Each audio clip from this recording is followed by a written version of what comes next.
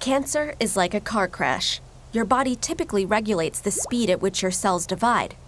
But sometimes, cancer cuts the brake lines, and your cells divide too quickly, accumulating mutations that cause them to veer away from their original function, form dangerous tumors, and land you in the hospital. Cancer is basically an inability of the body to control the speed at which cells divide. When cells divide too quickly, they can often accumulate mutations that cause them to ignore their original function in the body, forming tumors. In turn, these tumors may interfere with the natural processes of the body, such as digestion and respiration, potentially leading to death.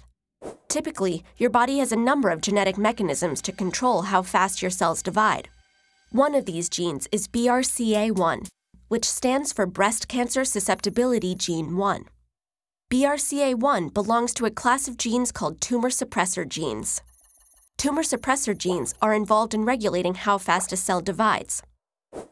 Normally, cell division follows an orderly process called the cell cycle, which is basically the life cycle of a cell. Within the cell cycle is a series of checkpoints where proteins, such as the one produced by BRCA1, regulate how fast the cell may proceed. How does it do this? BRCA1 helps repair some forms of mutation in your DNA. If your DNA is damaged, BRCA1 keeps the cell from dividing until the mutation is repaired. You have two copies of the BRCA1 gene in every cell of your body.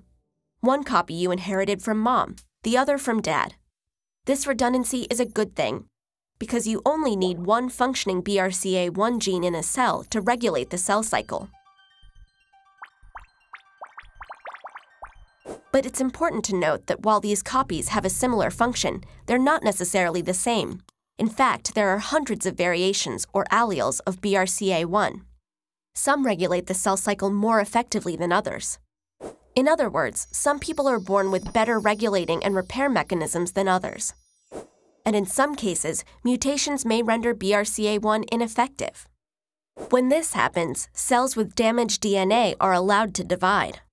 As they divide, these cells may accumulate additional mutations. These mutations may cause the cell to become less specialized and stop performing its original function in the tissue. If this occurs, then there's a greater chance they'll develop into cancer cells. While we all have the genes, such as BRCA1, that can cause cancer, it's only when these genes fail at their function that problems develop. Having an ineffective or mutated version of BRCA1 can increase your susceptibility to cancer much like driving with bad brakes increases the risk of an accident.